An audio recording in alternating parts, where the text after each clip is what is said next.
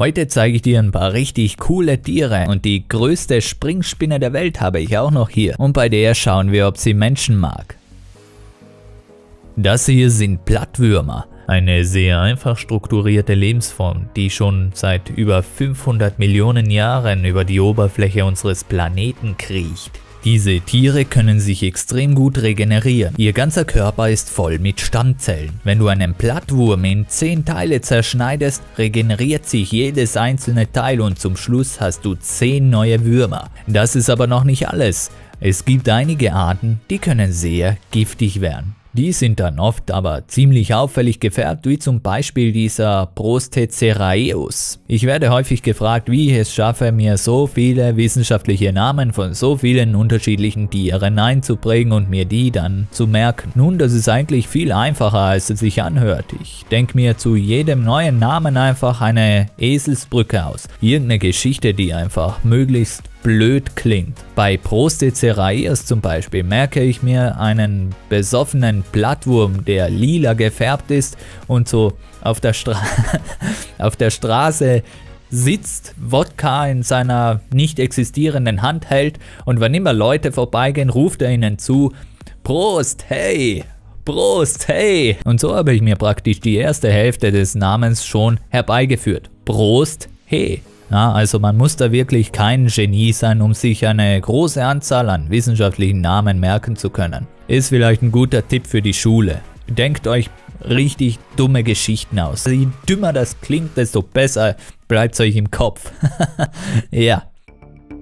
Und jetzt zeige ich dir noch etwas und das ist nichts für schwache Nerven. Jemand hat mir ein totes Tier gebracht beziehungsweise das Körperteil von einem toten Tier. Und auf diesem Körperteil von diesem toten Tier war ein anderes Tier drauf, und zwar das hier. Und das ist eines der wenigen Tiere, die auch bei mir eine Gänsehaut verursachen können. Und wo dieses kleine Tier herkam, da waren noch viel mehr.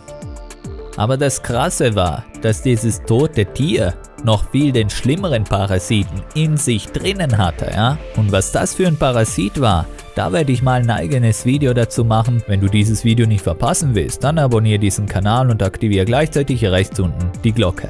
Jetzt schauen wir uns aber erstmal die größte Springspinne der Welt an. Darf ich vorstellen, Hyllus giganteus. Ich weiß nicht, wie es den Zuschauern geht, aber ich finde, Springspinnen sehen wirklich süß aus. Schau dir mal diese großen Augen an.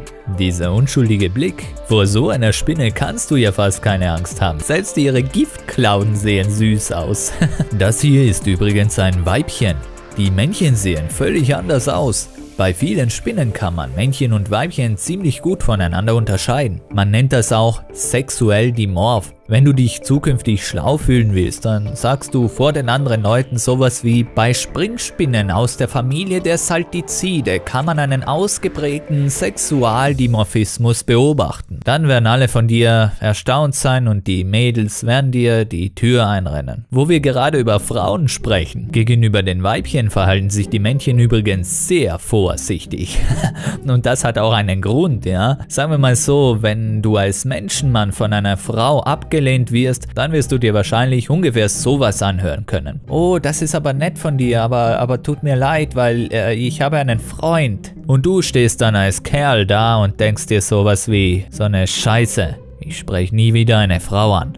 Aber wenn es bei uns so wie bei den Spinnen laufen würde, dann würden die Chancen gut stehen, dass dich diese Frau auch noch tötet. Und danach saugt sie dich auch noch aus. Ja, wäre dir das lieber oder was? Also sei froh, dass du ein Mensch bist. Wusstest du, dass Springspinnen die intelligentesten Spinnen sind? Sie beobachten alles ganz genau und sie sind lernfähig. Man kann sie ohne weiteres auf die Hand lassen. Diese Spinnen sind nicht einmal scheu, sondern sogar noch relativ neugierig. Vielleicht verstehen sie, dass ihnen eine Hand in diesem Moment keinen Schaden zufügt. Man kann sie sogar dazu bringen, kleine Kunststücke zu machen und von einer Hand in die nächste zu springen.